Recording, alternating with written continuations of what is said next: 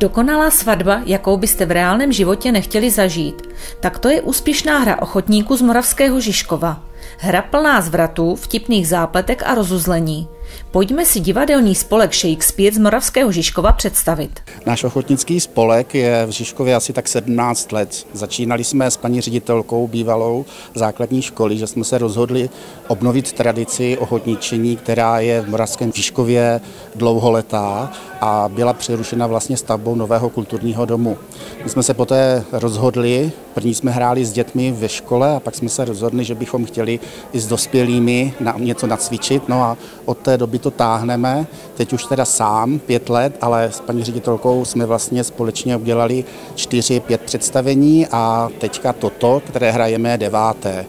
Kolik máte členů a jsou všichni členové z Moravského Žižkova? No, všichni členové jsou z Moravského Žižkova, ale v současné době někteří se nám přestěhovali, takže i dojíždějí sem a je pravdou, že některé divadelní hry, které jsme hráli, měly i herce z okolí. A obsa, kolik nás je, to se taky eh, různě liší podle toho, jakou hru hrajeme, takže kolem 10-12 vždycky se to nějak sejde. Stalo se něco strašného. Co se stalo? Dneska ráno no. jsem se probudil no, s ženskou. Kde? V posteli. V téhle posteli? Ovšem, jak ty to děláš?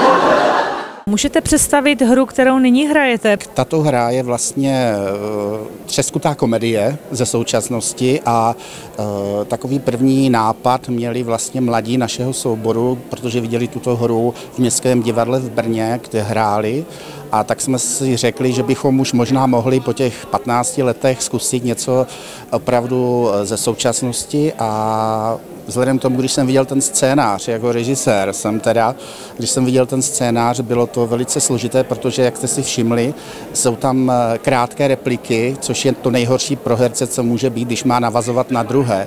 Tak jsem ze začátku si nebyl jistý, ale potom, když jsem viděl, jak se to rozjelo, tak si myslím, že i diváci se baví a že se nám to podařilo. Takže ten první impuls byl od mladých a pak jsme si sehnali scénář a šli jsme do toho. Je to vlastně o svatbě, když se mladý muž ráno před svatbou probudí v posteli a vedle sebe má cizí dívku a vůbec neví, co se vlastně dělo v noci. A pak tam je celá řada záměn a výměn, taková vyloženě fraška, jako by se řeklo, co se může stát, ale věříme tomu, že nikomu z nás se to nestane, protože zažít to na vlastní kůži asi není vůbec jednoduché. Jak to celé nakonec dopadne? Tak jestli můžu dopředu prozrazovat, dopadne to dobře, tak jak v životě má láska zvítězí. Ten pokoj nikomu nedají, když ho máme na dnešní zamluvený už od rána. No, no, no, ale víš, Někdo tu byl? no, to, Já ne? no, jo, jo, jo, jo. Hra byla věnována žižkovskému rodáku Jaroslavu Buzerlovi, který je nejstarším občanem mužem v Moravském Žižkově a velmi vyhlášeným sběratelem krojů. Jeho výstavu krojů jsme měli možnost vidět i na Dní pro dědinu v září letošního roku.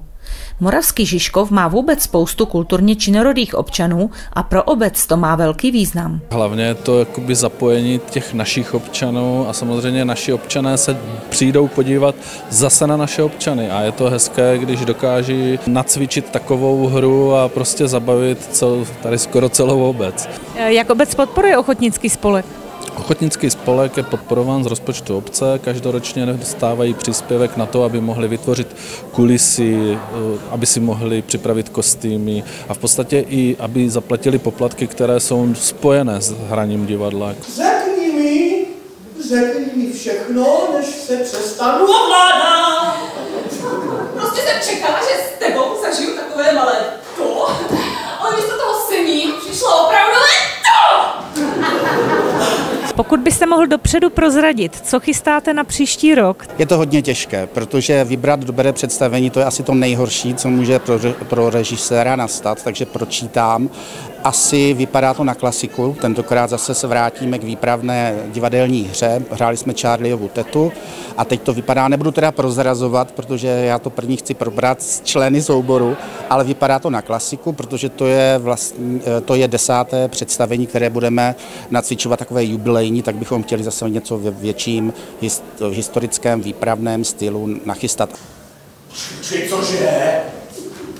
Řekla, že to byla nejlepší noc jejího života. On, on, že je nejlepší chlap jejího života. A víš, co jsem tím pádem já? Já jsem tím pádem největší debil jejího života. Divadelnímu spolku Shakespeare moc děkujeme za krásný kulturní zážitek a přejeme šťastnou ruku při výběru té desáté jubilejní hry.